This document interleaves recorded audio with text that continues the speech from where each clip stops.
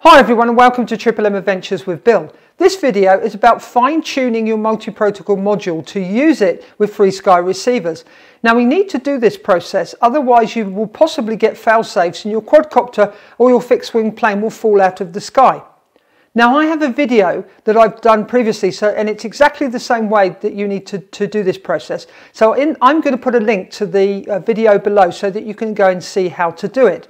But the basics are, is you go into where you bind your receiver and then you check the fine frequency option and then you use the scroll wheel to go in one direction and you keep going until you look at the receiver and you see it fail safe. Then you click back until the receiver connects again. Then you make a note of that number. So for uh, number's sake, let's say the first one you came up with minus 10. Now they could both be minuses, they both could be plus, but let's say minus 10. Then you scroll the wheel the opposite direction and you keep on going until you get a figure. And then you scroll back to make sure that you link to the receiver again. And you make a note of that number. So let's say that number is now 20. You then put write those numbers down. So you've got minus 10 and you've got minus 20. You add those together. So that will become 10. And that resulting figure is then divided by 2.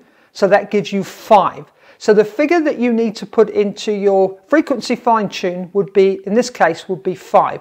And then you're good to go and you should get full range out of your FrSky receivers. Thanks for watching this video and if you enjoyed it please give it a thumbs up and if you really enjoyed it please subscribe to my channel and if you have any comments or questions please leave them in the comments section below because I'd love to hear from you and please share this video with your friends. Thanks for watching, happy flying, bye for now.